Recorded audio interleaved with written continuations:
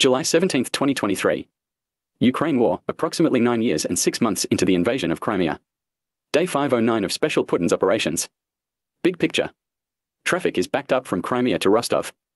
Ukraine appears to be yet again switching gears. In a month and a half of heavy fighting, a nation one quarter the size of its invader has killed 30,000 enemy troops and wounded at least three times as many, destroyed an average of 6.5 tanks per day and 1,000 towed artillery pieces or 21 pieces per day. It has killed at least a dozen high command officers, including two generals, and proven it can strike deep into enemy controlled territory with or without high tech gear. Dnieper Line. In the last 24 hours, Russian forces used 373 projectiles to strike Kherson. Road traffic in southern Kherson region is visible from space. Ukrainian naval patrols destroyed a large scout sized group of Russians. Zaporizhia front. Road traffic is backed up. Shelling was notably light or underreported to time of report. No confirmable combat reports from either side. East Front, Donetsk. Heavy shelling in this oblast on almost every village point of the line.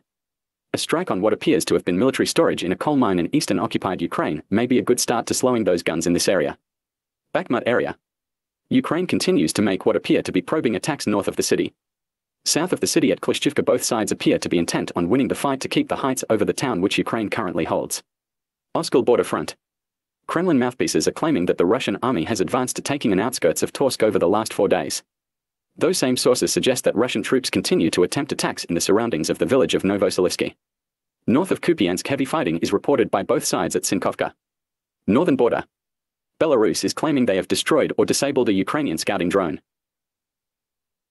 Black Sea. Russia is floating 10 warships with a volley capability of 12 Kalibr missiles. Oh, and something knocked a couple of steel reinforced concrete blocks around. Guess you'll be taking the train. Ukraine world related. Vacation in Crimea doesn't look so nice this year. Grain prices will be rising globally with the expiration of the agreement of safe passage of grains. South Africa has requested Mr. Vlad P. not travel to their country for the next BRICS meeting, as their signature on International Criminal Court agreements says that Putin's current warrants would require them to make arrest. It was recently noted that British spirits seem to be popularly served rather wet. Yet it's noted they do show as a big hit at swim parties. Perhaps it will someday be said American spirits are best known by their vapor heat, the kind that moves so fast the palate doesn't register until the whiskey is well down the gullet. Time may tell.